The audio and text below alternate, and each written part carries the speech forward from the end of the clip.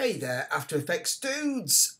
This little tutorial is uh, kind of recreating the John Carpenter version of The Thing opening intro titles. If I just hit the spacebar, you'll see what I mean. There we go, there we go. Okay. And just in my project, I've got the uh, little original image there, so I'm just trying to, to go for that. There we go, go back to my comp there. So it's quite nice. Okay, so let's uh, let's take it back to the top. I'm just going to delete these layers and just take my effects off. So back to square one. So this is my text that I typed in and I used the Bradley Hand font. Seemed quite close. Okay, so the first thing I want to do is I'm going to get uh, the roughen edges effect. So I'm going to my effects and presets, type in roughen edges. Okay, let's drop that on.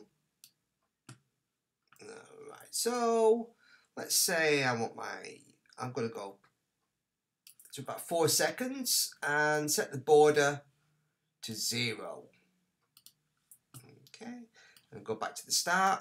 I'm going to increase the border I can increase it faster if I hold down the shift key while scrolling with the mouse until it just, well, just about almost disappears. Okay, so it writes itself on like so. Okay, and then I'm going to go to the effects and presets and type in CC Light Start and this is one I want, CC Light Burst. Drop that onto there. Okay, and it's got to move, it to here. Drop that down somewhere to the bottom so so the rays point up. Okay, that's looking that's looking pretty close. I may uh, just increase the intensity a little, whack that up a bit, just do the length a bit. Oh, that's looking pretty good. Could have it straight. Oh, no, I'm going to stick with fade. And I'm also going to do, click on set colour. And I want to choose a colour. And I could even just go into my project, just drop that on. Go back onto my effect controls. And so just to get it close, choose choose the color. And delete that. So there we go. Maybe take down intensity a little. Okay so that that's looking pretty good. So if we uh, and I might also just just hit my U key there. Just tune to the ray length. I might just increase the ray length at the start so the rays kind of get bigger and as they come in just uh, waiting for it to render. There we go.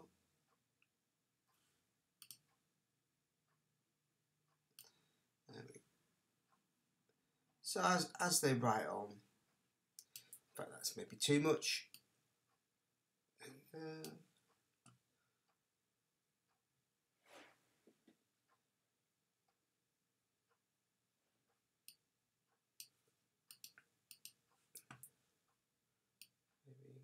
Oops.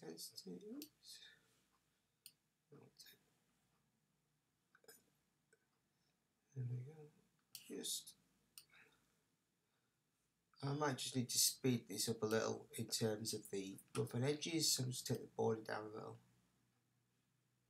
Um, that's better. So it's sort of coming on faster.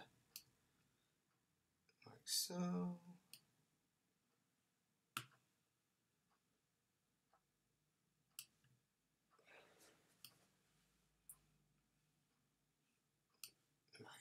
move a little bit quicker. So there we go.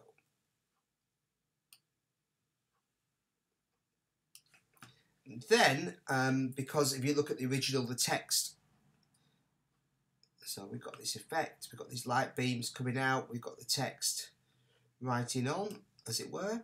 What I want to do is I'm just going to duplicate this layer, and on the top layer, just remove that light burst, like so. So you start to see the text coming on with the light burst around it. So, okay. And then just to add a little more sparkle, I went to layer, new adjustment layer, and just added on top of that some, not glop, but glow to give a bit of a bit of a punch to the whole thing. Maybe just increase the radius to soften it out a little bit. And then we've got a really cool kind of effect writing on there. So maybe just take the intensity down slightly. There we go. So quite simple. Just the text and the CC light burst.